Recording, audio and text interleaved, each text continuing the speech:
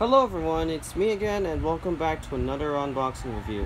Sorry this is a bit late, but this is my first video of 2023. Well, late 2023. This is my late video, first video of 2023. Today, I got something that, um, yeah, I got something in the mail and I'll show it to you.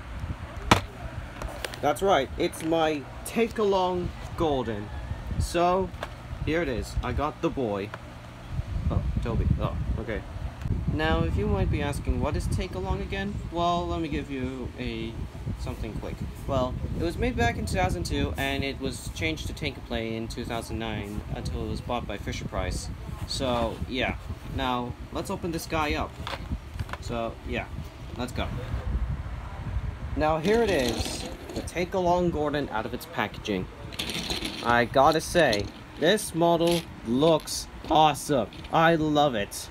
This looks amazing. It looks almost accurate to the shelf beside the wheel. God dang it, I got the chip on him. Yeah, you can see the chip right there. Yeah, don't care. And there's a little smudge on his face, but the face looks so good. I love it. Yeah, I see his black steam pipes. Yeah, and also um, there's the whistle. Nice. Also, I'd like to mention that they had magnets, so like, no, no, not magnets. They had buffers in the back, which is the same exact thing as the All Engines Go Henry model. Like, here, let me show you. See? That's the difference. Okay, back to the model. Now let's get to my major gripes with it. The gripe I only had is the dome. What the heck is that? It's a top feed of Henry's top feeds. Yeah. This is my only gripe with it, and the gripe is that Gordon only has these type of wheels instead of like three on the front. I mean, two of them like on the front like that. But yeah, that's just um, that's all good. But that's just in my opinion. But yeah. Oh, I see scratch on the boiler pins. Yeah. But other than that, but I guess this model looks good. Looks good, and I like the cap details. Yeah, tender's nothing special. So yeah, now let's look at his character card. Now, here it is. There's the character card. Name. Gordon the Big Engine. Color. Blue.